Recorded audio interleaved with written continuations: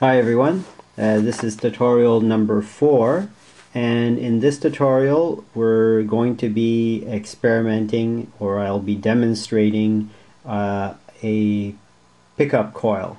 So we've been resonating this coil and now we would like to pick up that energy off uh, the resonating coil and what I've got again here is the same setup as I had basically uh, on tutorial number two where we have the bulb in series on one side of the signal generator with a capacitor in series and on the side of the coil we've got the neon bulb to detect the resonating point and the other side of the coil here uh, we've got just the signal generator going straight to there. Now in tutorial uh, number three I forgot to mention I did not use the neon bulb because when uh, you're using the capacitor in parallel, uh, I even when you hit resonance, I have not seen the neon bulb go bright as it does when you're using the uh, capacitor in series using square wave. So it seems to be probably more intensive uh, using square wave with the capacitor in series than using sine wave and a capacitor in parallel. So that's why I've switched over to using uh, only a capacitor in series and square wave. Alright, so just to, uh, um, so everybody understands that. So right now we're back on square wave and I'll turn up my output and we're at the same uh, frequency we were at okay which is we're on the 1 megahertz uh, setting here so at 0.7 so that's 700 k hertz and we're at resonance and the bulb is completely extinguished so we're not using any amperage only voltage to get the coil into resonance. Now it's nice to have all this but what do we do with this? Well we want to pick it up. We want to pick up this radiating energy from there and that's when we have a secondary coil or antenna.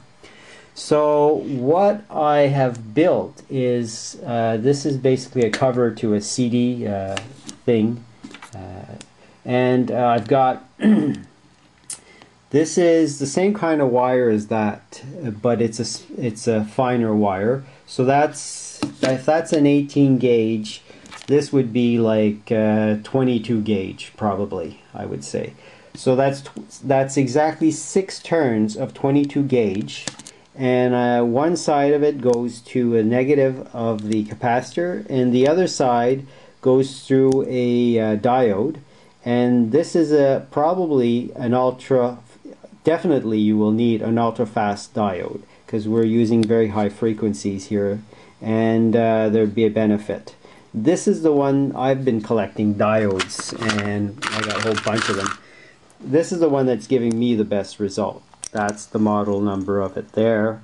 Uh, it's a dual diode so it you know it it goes both uh, ways here and um, uh, that's the one that I'm getting the best results as far as the amount of uh, voltage that the capacitor is getting charged at. So the this leg is going into the diode and converting the uh, pulses to a direction of positive to charge this side of the cap. And like I say the other one is just directly to it. And now I've got my voltage meter attached to that uh, capacitor and I'll set it on the 2 volt uh, DC setting here. And we take our coil right our pickup coil and that happens to just fit perfectly over this. Now, it's not important that it's a tight fit around the resonating coil like this one is. It just happens that that works that way. And um, that's so that's not important. The coil can be like probably an inch away. It doesn't need to be this configuration. So you need to play around and test with it. Um, so as let's look at this now. I take the lid off, right? It's away. The coil's in resonance because that neon bulb is lighting. Alright, now if I move, see if I just move this a little close by, that bulb extinguishes. Alright, so what's happening is that radiating energy is now being picked up by this antenna, this coil. So it puts the circuit out of resonance, most likely, right? But we are picking up energy and we are charging our capacitor. Now what I didn't say as well is that capacitor is on a 10 ohm load right now. And that 10 ohm load with it tuned to this point here uh, is giving us 0.28 uh, volts. All right? Now if I tune my signal generator one way okay we're getting a drop now if I go the other way well we're getting an increase. All right? So obviously you see we can retune. All right? And let's see how far we can go with this here. All right. So 0.57 is about the highest point we can go. All right? All right. So there you go.